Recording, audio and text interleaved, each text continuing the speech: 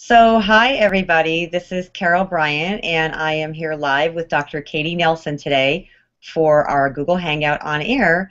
And hello, Katy. Can you see me okay? I certainly can. How are you, Carol? I'm good. How are you this morning? I am great. I'm great. I'm coming to you guys live from WTOP Radio in Washington, D.C. That's so awesome, and we just recently had a chance to see you. Um, where we did a taping of the Pet Show with Dr. Katy Nelson, and when will that segment actually be airing? That will air this Saturday, actually on uh, News Channel 8 here in Washington D.C. Um, at 11 a.m. Eastern Time, and then by 11:30, when the show is over, it will be online on our Pet Show blog on wjla.com.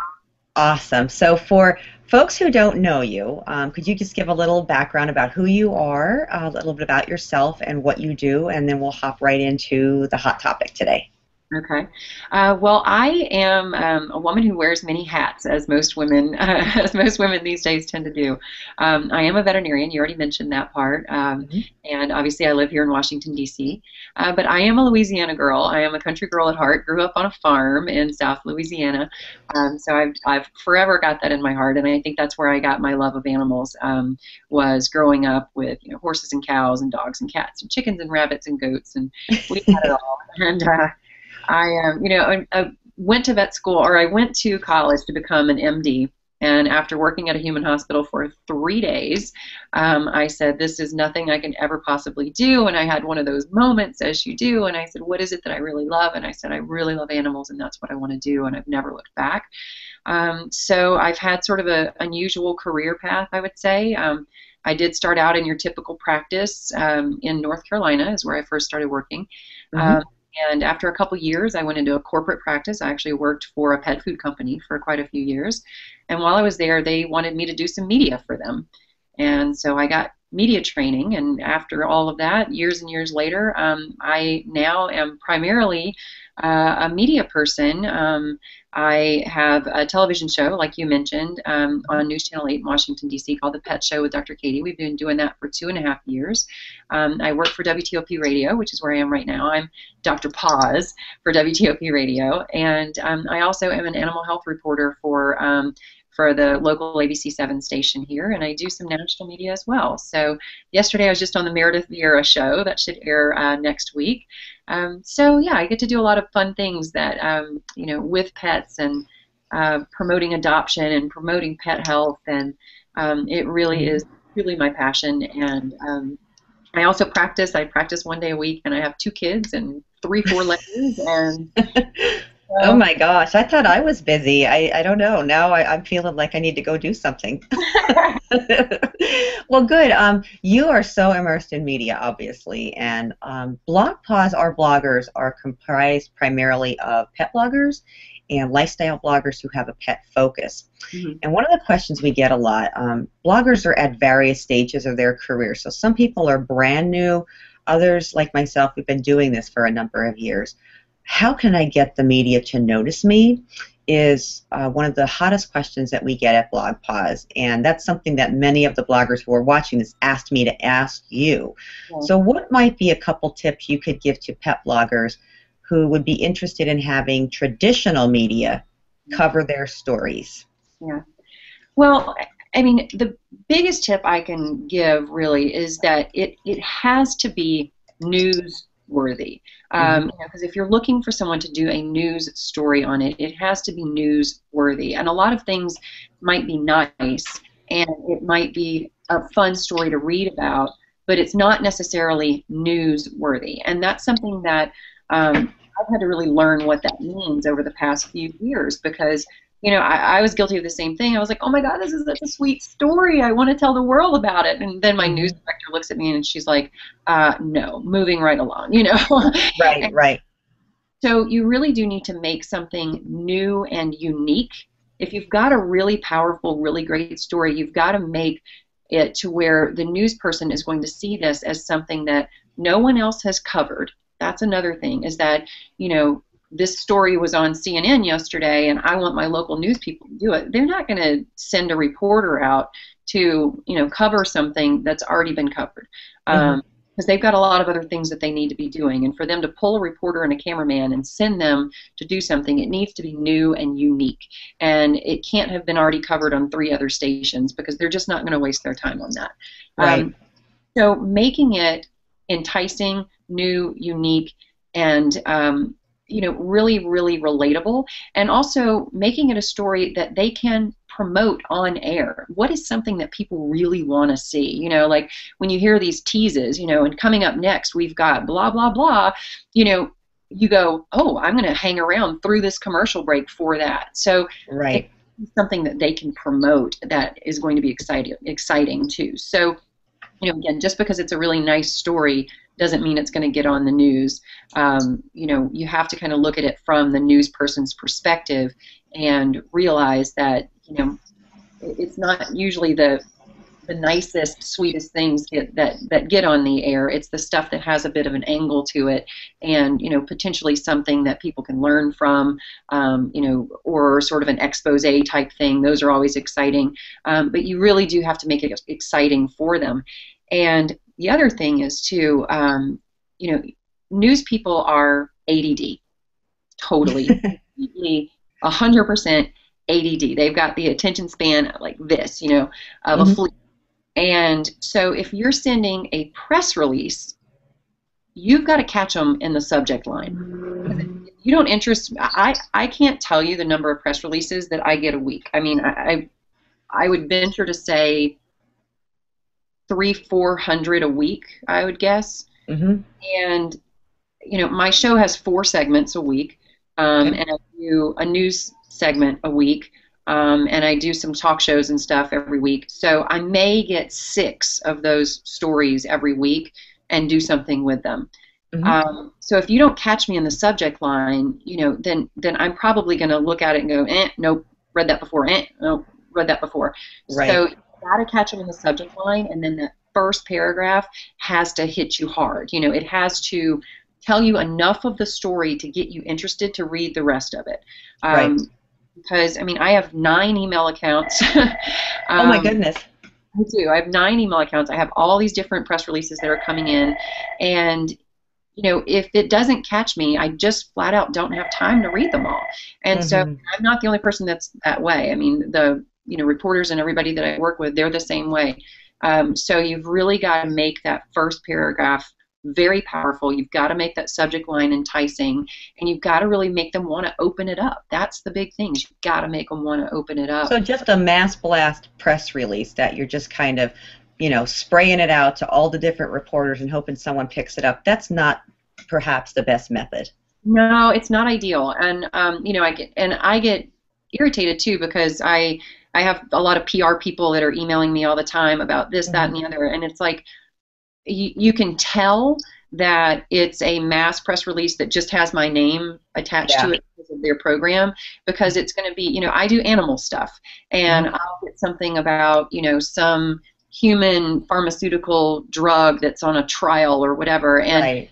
I'm you know I'm going to know that person's name and mm-hmm. I'm know that when they send me things that they're just sending me stuff that they're not actually targeting me so mm-hmm. it really is better if you know the reporter that you're writing to and personalize it you know right. uh, you know know that they're a dog person or a cat person or whatever and how do you know that that's because you've spent your time networking and that is probably the biggest key to this whole thing is that you know you can't sit back and just send out a bunch of emails and expect you know people to go oh my god they sound great i want to have them on air you know right right really spend some time networking with people and um, it's not going to hurt you to get some media training too because there's nothing worse being the show host than to have someone come on and you're trying to pull things out of them right. while on the air you know you can right. be a great writer, you can be a passionate speaker, but when you get that camera turned on and you go blank, people are going to. Right. Where can a blogger, um, when you say media training, so say I'm somebody, I'm sitting in the middle of the country, I've been blogging, I love everything you're telling me, and I'm learning. Where can I get media training? What what what can someone do if they just have no clue what that means? There are some great online courses. Um, there really, truly are, and they're going to be interactive courses, and they're not super expensive. I mean, you can spend a couple hundred dollars on an online media training course, and they're really going to teach you how to write talking points, how to hit talking points, um, you know, how to be comfortable on air, um, and you know, not trying to say that it's all about appearance. You've got to care about your appearance too. When you're going to go on camera, you cannot show up in a cat sweatshirt with no makeup on. You can't do it. Right. You know, I mean, right. You've got to, and for men, you need to have a collared shirt, or at least, you know, you don't have to be in a suit and tie, but mm-hmm. you got to look nice. You know, don't show right. up in a t-shirt, a rescue T-shirt, and I, I have a lot of people that do that you know, you show up in a T-shirt with the rescue logo on it, and I appreciate what you're doing. You're trying to get your logo out there, but send me your logo, and I'll put it on a lower third on air. Sure. You know, sure. What about um, regular press that is not on camera? So if I want the local media, a journalist in my area to mm-hmm. cover me, or I have people say, "How can I get in USA Today?" Mm-hmm. Um, you know, my thing is always have you tried your local press first. Yeah. Um, what what sort of pitches, or what would you recommend for a how to find the right person to contact, and b what that pitch would look like? Yeah. Well, uh, the biggest thing, especially for local media, is networking. Figure out where these people are going to be, what events they're going to be going to, etc., and go to them mm-hmm. and meet them. Because there's nothing better than meeting that person, you know, in person, shaking that person's hand and making that personal contact. I can tell you that that's what I did, um, you know, six, seven years ago. Whenever I started doing this locally, was I bought tickets to Humane Society events, and I would go to different events, and I would meet people that I wanted to know, and right. I started socializing with them. I started networking with them. I started showing them what it is that I can do, and that's how I made the progress and realized that you know, you're not going to immediately get in USA Today. It, it's right. just not, it's not going to happen. You have to be realistic, and you have to have realistic goals. You know, you need to get an article in your local newspaper 1st mm-hmm. or maybe do a call-in interview to a local radio show. But you know, you've got to be realistic about that and hone your skills because it is a skill. It is a skill being on air. It is a skill being on radio. Um, mm-hmm. You know, and it's something that I'm sorry, most people are not cut out to be on CNN. You know, there are a lot of mm-hmm. people who are really good at what they do, right? Uh, and they do a great job where they're doing it, but they're not necessarily the person that you want on CNN. Um, mm-hmm. But that person who is on CNN didn't just get there that person that is on CNN started out in local media. That person started out doing smaller versions of what they're doing now, and they continued to work hard and hone their, their skills and get better and better and better at it. And there's nothing like practice for getting you to where you want to be. So if right. you have realistic goals and you work hard to hone your skills and continue to, to you know work on that skill set, then you can get there. It's just not going to happen overnight. You know, again, I mean, right. I've been doing seven years here in DC, and it's just this year that I've actually done some really great national shows. So it's been a long process. There's you've paid your dues. You've paid your dues, and you've been there. And I mean, I've been following you. So for folks who aren't familiar with you, you you've been you've been really doing this for a while, and um, you can tell it shows in what you're doing and, and where you're pitching and where you're getting getting picked up. Um, one of the things that bloggers ask us is okay, I'm just a blogger, or um, why would mainstream media be interested in me? Do you think pet bloggers are being viewed more seriously these days? And um, if I'm pitching as a pet blogger to someone like yourself or to a newspaper, would I be taken seriously? You can be. Uh, you certainly can be, but it really is going to, you know, it's going to depend on how you're pitching yourself. Um, you know, if you come in as I'm just a pet blogger, um, then no, they're not going to take right. you seriously. But if you come in as you know someone who who really works hard and and does tell some good stories and and you know you really you really truly are out there um, working to become a a source for people on whatever your specific topic is you know it, it's all about presentation it really truly mm-hmm. is and um, you know you absolutely can be taken seriously no doubt about it absolutely you can be.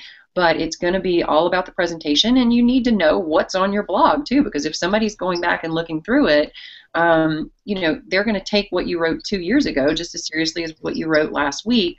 So, you know, make sure that what you're presenting to the world is what you really truly want to present to the world.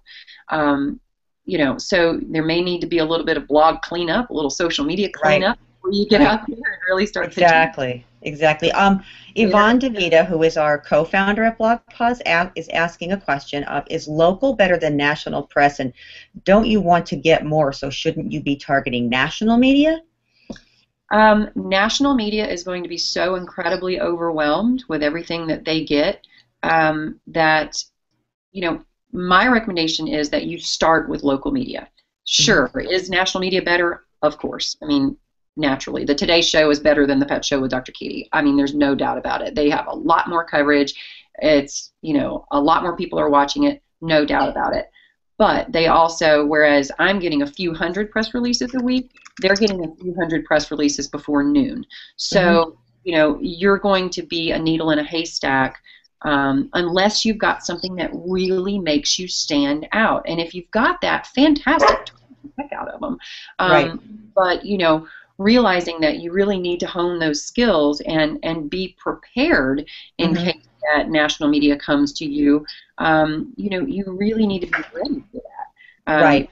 It is a big deal. It is a big right. deal. And so realizing that you know, you're probably going to have to invest in some of this stuff financially as well. Um, you know, the Today Show doesn't pay for me to get on a train and come up to New York City and stay in a hotel and do their show. They mm-hmm. don't have to do that because they'll find somebody else that'll pay for their own way to get up there. Right, um, right. So you know, don't expect that if they do make that phone call that they're going to say, "Oh, and by the way, we're going to buy your plane ticket and we're going to get you here and we'll put you up in a really nice hotel." So be prepared that if you are going to do this, it's going to be an outlay of your own money um, in order to build because what you're doing is you're building a brand. And I guess that's probably some of the best advice that I can give is to say, choose what your brand is. Um, you know, and and don't don't deviate from that. You know, um, for okay. me, I'm a veterinarian. I'm a mom, um, and that's my shtick. That's what I do. I don't I don't go off on that. I don't talk about other things because that's me. That's my brand. Okay. Um, we have a question from Lauren Dar, who is with the International Association of Pet Fashion Professionals, and she wants to know if she were to pitch something like fashionable safety items for your pet, is that catchy, especially at the time of year when that might be more of a concern and people are out and about more with their pets? I think that uh, I think you really hit on something there, Lauren. Is the is the timeliness of these stories really has to be appropriate. Um, you've got Halloween coming up. Um, you've got winter coming up where people are going to be putting coats and stuff on their pets, and so making that timely absolutely is going to be more likely to catch um, someone's eye than if you sent it, let's say, in the middle of May, you know, talking about fashionable pet items. That may not be as much of interest right now because that would be the time of year that people are thinking about going on vacation or they're thinking about school letting out or whatever. You know, kind of think about what's on the minds of the reporters and their viewers. Um, and be very timely with what you're sending out, and you're definitely more likely to get um, a response you know when it when it fits um, mm-hmm. than just some random time of year. So should I send something out, dear reporter, or how can I find out who I need to be connecting with? What's the best way if I don't have a few thousand dollars to invest in a PR database to yeah. find out who I need to be connecting with? Well, I mean, I, I personally, I've never had a PR database. I, I, I don't know. Nice. I've, I've never worked that way. Um, I uh, I can tell you that being on Haro, um, H A R O, help a reporter out. Mm-hmm. Um, dot com. That's a that's a really great resource and a really great way to kind of get in front of um, some people who are writing sometimes bigger stories, either for magazines or um, you know or news media or other sort of print media. Um, that's a great resource and it's and it's free. You can just sign up for that as a resource for that. Um, and then you know again just putting in the time. I mean really going to where you think these people are going to be, um, mm-hmm. you know, and and even just calling the news desk at your local TV station or radio station and say, do you have someone at your station that covers animal related topics, you know.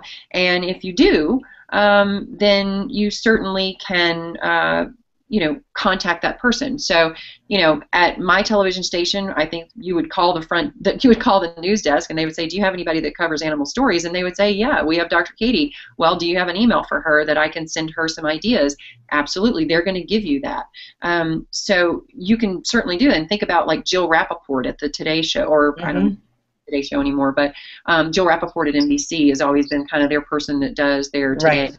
um, mm-hmm. you know, their animal stuff. Or um, Debbye Turner from CBS. She used to be on the morning show. She's former yes. She's a veterinarian. She's the one for CBS that did a bunch of their animal stuff. Um, you know, and then you think about like Sanjay Gupta. He's the guy who does the stuff for CNN on medical stuff. You know, so you you kind of have these different people that you associate with doing these types of stories and maybe locally you have those same people too mm-hmm. so but it's just, it's just a phone call or an email and, and finding out who they are and how right. you can get in touch well some of our um, that, that that's awesome advice and um, i'm thinking I'm, I'm looking at some of the people who are in our chat um, amy beltran's here and tiffany from diamond dogs and ruth epstein um, some of the questions that are coming in i'm thinking okay i write to you I've got a great pitch. I made sure to spell your name right. It went to the right email. Should I call you several times to see if you got that pitch and, and harass the heck out of you to make sure you're going to cover me because I'm so awesome? No. No. okay. That's the very first thing you can possibly do to turn somebody off. okay. You know, you certainly wait a week, wait 10 days or so send a very nice, friendly forward of that email and just say, hey, just checking in to see what your thoughts were on what I sent you last week, and leave it at that. That's the okay. very thing that you can do um, because, you know, quite possibly we looked through it and it just didn't catch our eye and we hit delete. But mm-hmm. if you send it to us again, maybe something has happened in the last week, 10 days, two weeks, or whatever since you sent it, and maybe we go, huh, you know what, actually, that is better now that I read it the second time. Um, or maybe it's just they're going to write back, you know what, nope, sorry, right now that doesn't fit what we're doing. And at least you've gotten confirmation that they've received it. Um, so, but you know, calling, multiple emails, all of that. I mean, if you if you want them to write you off completely, that's the definite thing to do. Um, but my recommendation is always week to ten days because they're very busy. Give them a week or so if they haven't written you back shoot them a very quick one line, just checking in to make sure you received and what are your thoughts, and then leave it at that. If you don't hear back from them again, wait another week or 10 days and send them something new. Don't send them the same thing again. Send them something. So don't call them. So you would not recommend picking up a phone and calling that reporter or that news desk? Unless you know them personally. Okay then mm-hmm. I probably wouldn't. Um, I mean, if you know that they're, and you can attach a read, like a read receipt to your email so that you know that they actually read it, you know that it's not getting spammed or whatever. Right, right. You do that just to make sure that you've got the proper email address. Um, you know, or you can also just say in that forward that you send them, um, checking in to make you received it. What are your thoughts? And is there a person who um, you think this would resonate with more? You know, if right. it doesn't you? Is there someone who you think it would resonate with more? Um, because it may be that you've sent it to a reporter who has done some animal stories in the past, but that's not really their passion. Mm-hmm. You know, mm-hmm. there is somebody else that they would go, oh yeah, you know, for at our news station it would be either me or there's a lady named Jenny Doran, and Jenny Doran is like in love with animal stories, and so if it's something that isn't like Dr. Katy-ish, you know, with sort of a medical angle or some sort of a other angle to it, then a lot of times if it's just kind of what we call a fluff piece, right, right, right. you know, if it's more of like a feel-good type story, then we'll get Jenny to do it because um, she's, you know, teeny little blonde, you know, little cute young thing, um, and those sorts of stories really fit her personality very That's well. Right. Um, so it may be that you know your story may not resonate with me, but I might send it over to Jenny, and Jenny goes, "Oh my gosh, I love that." So okay, awesome. Yeah. Um, well, speaking of pet projects, um, one of the things that I wanted to have you talk about was a passion project that you're working on, and we're going to um, actually put on Twitter asking anyone that's watching this to hashtag pet project. And if you could be the first to kick that off and tell us what your new pet project is, and I'm thinking bloggers from BlogPaws might be interested in covering this.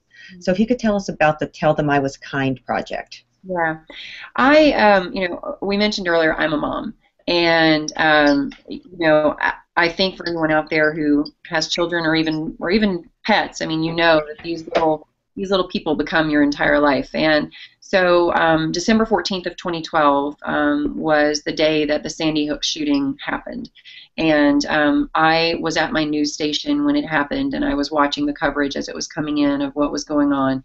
And it was everything within my power not to drive directly to my son's school and scoop him up and take him home because he was he was five at the time, um, and these children who were killed were six. And so I was very, very impacted by that personally as a mom. And um, about two months later, in February, I was reading um, a People magazine while I was getting my hair cut, and um, they had an article on the children or the the families of Newtown. And there was an article in there about a woman named Jenny Hubbard.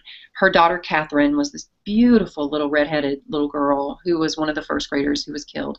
And um, Jenny and her husband and their son Freddie um, had decided that they were going to donate the money that came in um, in honor of Catherine to a uh, to their local animal shelter. The local animal shelter was overwhelmed because Catherine. Well, the reason they did is because Catherine was an animal lover. She was such an mm. animal person, and uh, she would get her allowance and save her allowance and insist that they go buy blankets and pet treats and take them to the shelter. That's what the child did with her with her allowance.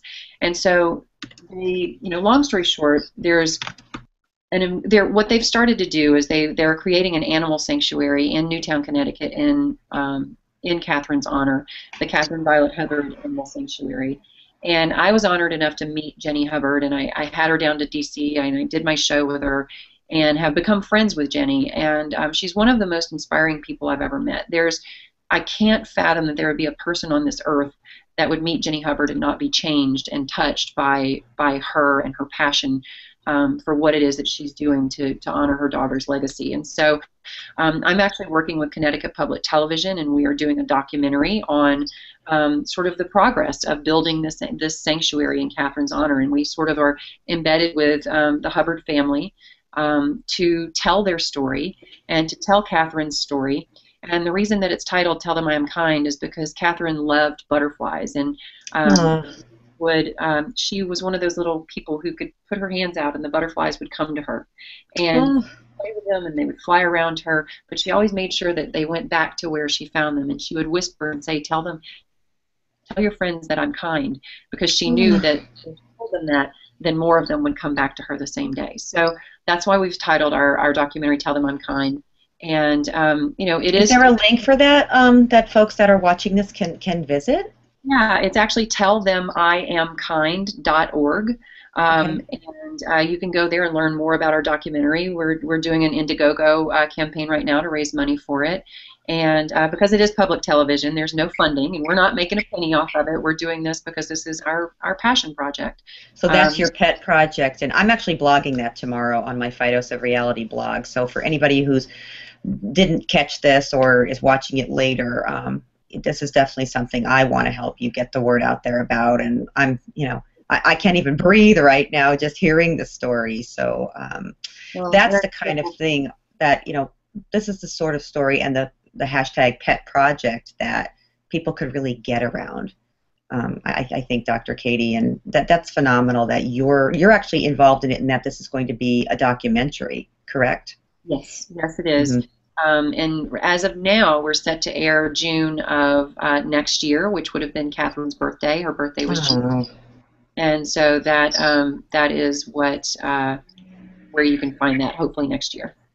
Awesome. Well, I have just uh, we're going to go probably about three or four minutes over because we've had quite a few questions come in. If if you don't mind. Um, one of the ones that we got from Ruth Epstein, she's asking, she said, I'm still confused about mass mailing journalists. Is it worth doing that or not? I, I think you really did a great job addressing it, but if you just want to touch base for like 30 seconds on that.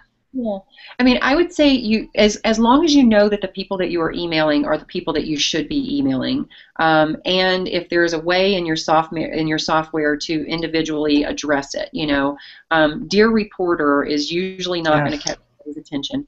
Um, but you know, dear Dr. Katy, is definitely going to catch my attention more than that. So if there's a way to individualize it um, to each person receiving it, um, and just to make sure that the person, the people who are receiving it, are the appropriate re- people for that, um, then I think that they're worth it.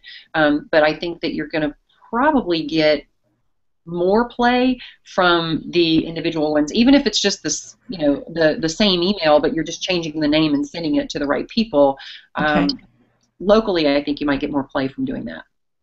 Um, and tell us where folks can find more out about you. What's the best place to hook up with you? Where are you online? And again, when your show airs and how folks can watch it. My show airs. Um, we only air locally here in Washington D.C. on News Channel 8. Um, however, you can find the back episodes on my website um, and as well as on the WJLA.com website. Um, so uh, I'm actually going to send that link right. Okay. Actually, watch episode um, as well. So, um, yeah, but we, we air at 11 a.m. on News Channel 8. You can find me on my website, which is thepetshow.tv. Um, and all of my stuff is there articles, bio, contact info, all of that is right there on thepetshow.tv. Awesome. Well, I'm looking forward to seeing you at my fundraiser to help homeless cockers. I know you'll be there, the Wiggle Butts Go Hollywood, and we're all excited to see you. Um, thank you for having us on your show, and thank you so much for joining us today. This is actually going to be archived the moment you and I get done, so if anyone's missed it, you're watching it now, make sure you check out Dr. Katy, check out her Tell Them I Was Kind project, and um, we look forward to getting to know you even better and hopefully seeing you at BlogPaws in Nashville. I am looking forward to that. I truly am the country girl gets to go back to the south. I like I it. know. As soon as you said, I had no idea on your background, so um, I'm thrilled that you know we'll bring you back to your southern roots. That works for me. Thanks, Dr. Katy. All right. Thank you guys so much for having All me. Bye bye.